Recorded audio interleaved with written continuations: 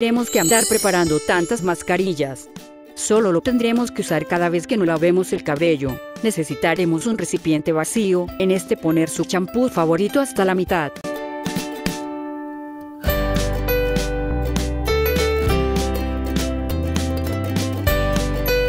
Después vamos a poner cafeína, ya que esto estimula el crecimiento del cabello. En la mayoría de productos de farmacia muy costosos que evitan la caída del cabello, le aplican cafeína.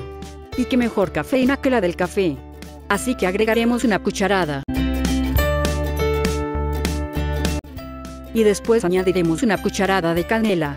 La canela hace circular la sangre en el cuero cabelludo por lo que si su cabello está estancado dejará de estarlo, ya que despierta los folículos pilosos. A mí me gusta agregar un poco de agua, ya que así evitamos posible resecamiento del cabello y la mezcla se hace más suave. Usen este champú en lugar del que usan habitualmente.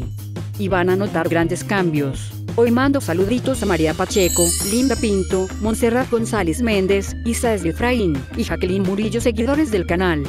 Les espero en un próximo video, compartan con sus amigos, y no olviden suscribirse a mis dos canales Comunidad del Cabello Largo y Belleza al Natural con Luli. Magia de Hadas.